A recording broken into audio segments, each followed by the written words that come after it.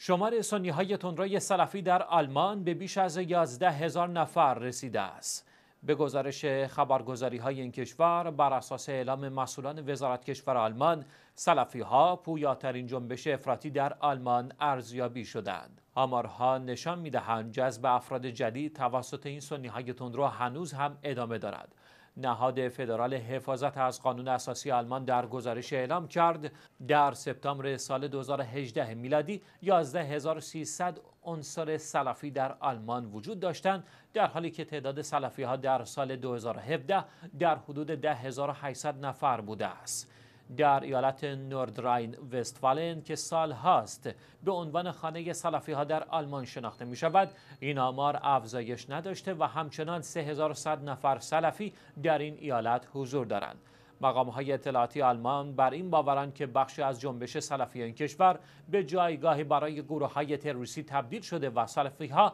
با این گروه ها در ارتباط هستند آزادی های اجتماعی در کشورهای اروپایی فضایی مناسب را جهت تبلیغ و نشر افکار مختلف ایجاد کرده و سنی هایتون را از این فرصت جهت نشر افکار افراطی خود سوء استفاده می کنند.